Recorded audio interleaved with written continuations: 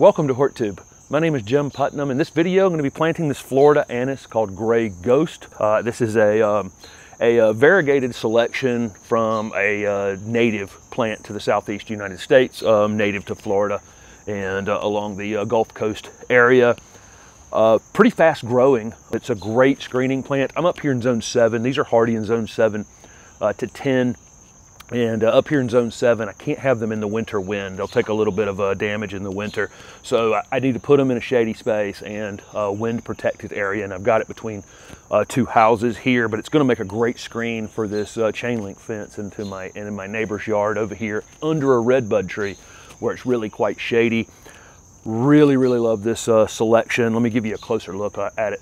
From closer up, you can see why it's called Gray Ghost. It has a bit of a gray uh, just undertone uh, to the uh, foliage color, especially in the newer in the newer growth on it, and then it has some variegation uh, as well in the uh, in the leaves. Just narrow leaves that when you crush, they smell like anise, which is not actually made from this particular Illicium. It's made from a Chinese Illicium, but it does have a similar smell to it. Another super unique thing about this particular variety is it has light pink flowers. Uh, most of these uh, have uh, either white or uh, red flowers when you're shopping for different um, species of Illicium, but uh, the pale pink flowers are quite beautiful. Illicium like kind of moist but well-drained soil, and I need to leave them elevated slightly here in my clay soil. Um, in coastal areas and stuff, I don't think it will be as necessary, but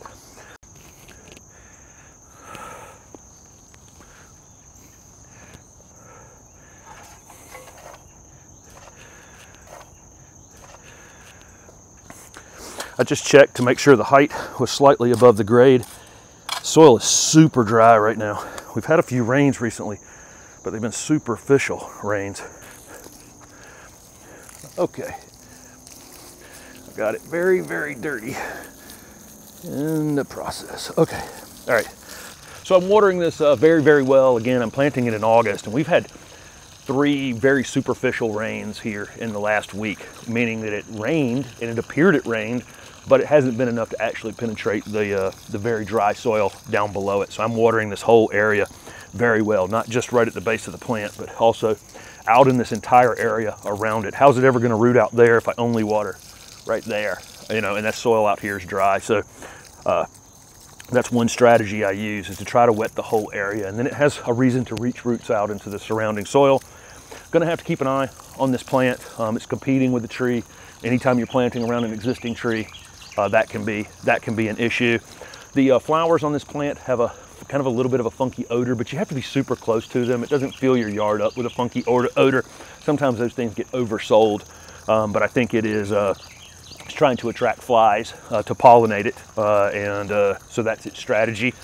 Again, a, this is a native to the southeast. It's evergreen. it has this beautiful variegation, beautiful coloration uh, on the leaves. It's fast growing. This one can reach probably six to eight feet in a reasonable amount of time in just a few years. And again, has those light pink uh, flowers on it. With this morning sun coming up here, um, uh, you can see why Gray Ghost is just a perfect name uh, for this uh, plant. But again, it's gonna do a very quick job of blocking off this uh, space from my neighbor's landscape and back over here to my screen porch. Uh, which is behind me. I got this plant from, because pe people frequently ask me this, I got this plant from um, my friend Pat McCracken, who's introduced a lot of uh, interesting plants. His uh, nursery's called Garden Treasures, and he has uh, rotating weekends uh, during the year, and he was uh, open this past weekend. Don't know when his next uh, open weekend is, but he's in Zebulon, North Carolina. It's not that far from me. Again, that's Garden Treasures. this this plant has a low um, poison severity. Um, it is it is poisonous, but the you know it's not it's not one of those that you have to be panicky about, but it does prevent um, most grazing animals from uh, from doing any damage to it, which you know I think is kind of nice. I'm in a yard full of rabbits, and they will not, they, they definitely won't touch this one. And I think it's the perfect plant for this spot, mainly because it won't burn in any direct sun in this spot, except for a little morning sun and late day sun that's going to come under here. And um, it won't burn in the uh, winter time because I don't have it in a big giant open field where the uh, winter wind can cause it some damage. So Thank you guys for watching my videos. Don't forget to subscribe and uh, hit that bell notification so you're alerted when I upload videos. Thanks for watching.